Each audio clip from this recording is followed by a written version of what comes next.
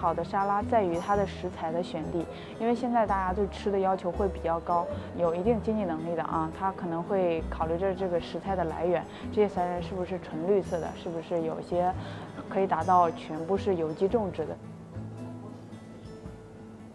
我们家是从二零零八年开始开的素食店，像几乎来几乎每桌都会点一个素食者沙拉这种的，女性会比较多。第一个可能对养生啊、身材啊，就认为吃素可能会瘦，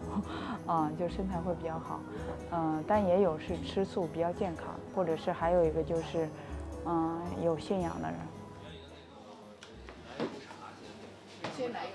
那个姜茶。我是个佛佛弟子，我觉得吃素以后最重要的还有一个就是跟那个无形的众生，跟所有的这些动物，你非常的亲和。你看我现在的年龄也快六十岁了，但是，啊，一般的人跟我接触的时候说你根本不像一个六十岁的人。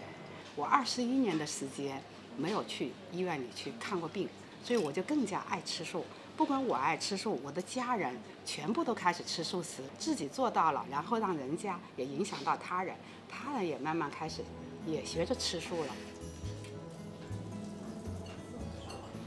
即使没有肉、没有鱼、没有鸡蛋、没有牛奶，它也是一样可以营养均衡的。长期就是也有科学家去研究，就是说长期以来吃素食的人，并不是说会比有吃肉或蛋白这些的身体差。其实我觉得啊，就是咱们年轻人，嗯，好多人可能就是说我非得是一个素食主义者，我才到素食餐厅。我个人认为并非是这样，就是说大家不要强制性的。有是爱护动物啊，可能相对来说我不去杀不去杀戮，或各方面的，它会有这方面影响。初衷是也不想杀生，所以才开始想往素食方面走。我们店叫沃野，然后英文名是 O O I I，就是一个餐盘一双筷子的意思。就我们店主要会用到一些菌类的。像蘑菇呀、香菇口蘑这些，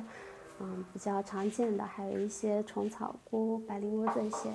菜，还有会有一些茄子、土豆啊，都是比较常见的一些。但是，嗯，就是让它做的更好玩、更好吃。因为大家现在对健康会比较重视，不像以前那个物质比较匮乏的时候，大家可能就想着要吃饱，现在都是要吃好。